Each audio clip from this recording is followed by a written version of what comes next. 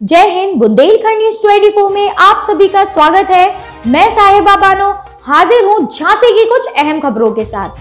झांसी के टोड़ी फतेहपुर में भूमि पूजन में पहुँचे श्री श्री 1008 महामंडलेश्वर ओमानंद महाराज, साथ में इंजीनियर विनोद कुमार वर्मा, कांग्रेस सेवा दल जिलाध्यक्ष झांसी, प्रबंधक बुंदेलखंड, गंगा जगत गुरु धाम, अखाड़ा परिसर, हरिद्वार, धर्माचार्य प्रदीप गोस्वामी से पंकज महाराज टोड़ी फतेहपुर, ब्रज के बाल कलाकार मथुरा से उपस्थित हुए।